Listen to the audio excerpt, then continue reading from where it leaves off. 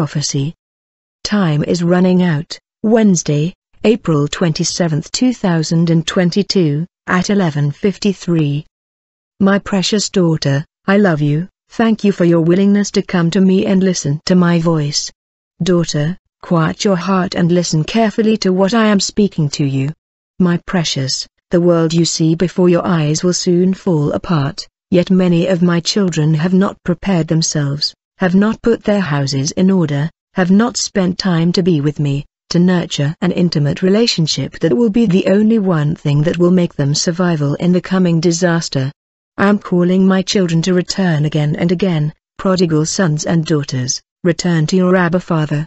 I stand at the crossroads day and night, waiting for you to turn away from this world, my arms are open to embrace you who are running into my arms at any time. The feast is ready, waiting for you to come and enter. Will you come back to your Abba Father, who loves you with an everlasting, immutable love? Wars, Pestilences and famines are no longer the stories in people's mouths, no longer the history recounted in books, but a living, indisputable reality. But where are you now, my children? You chase after this world and things in it, you do not believe that my return is so imminent, you do not believe that the Lord who created all things in heaven and earth is not only loving, but also holy and righteous. Yes, my coming is near, nearer than any of you think. Yes, I am loving, but I am also holy and righteous. Sin cannot stand in my presence, and without holiness you shall not see me. Looking around you, what do you see? Do you listen to what is happening in your world right now?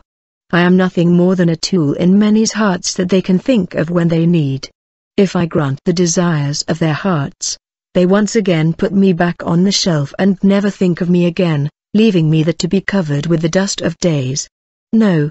I am not a genius that you put in a box to satisfy your lust for the flesh, the lust of your eyes, and the pride of this life.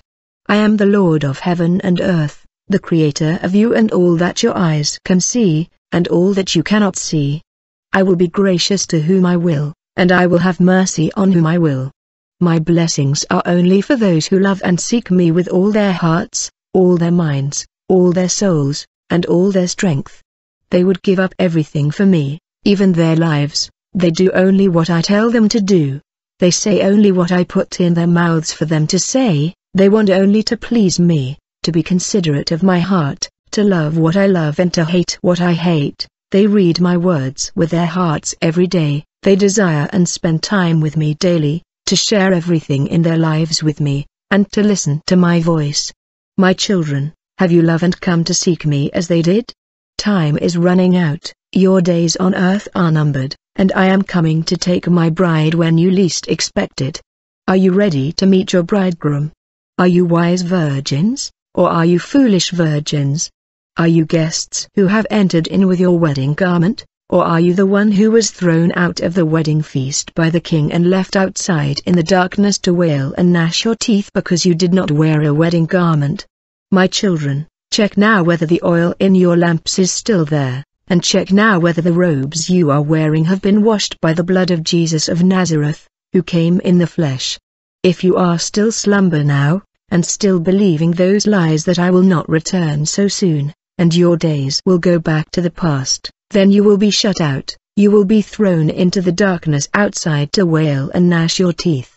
Time is short, my children, seek me right now while you still can find me, Come near to me while I am still near.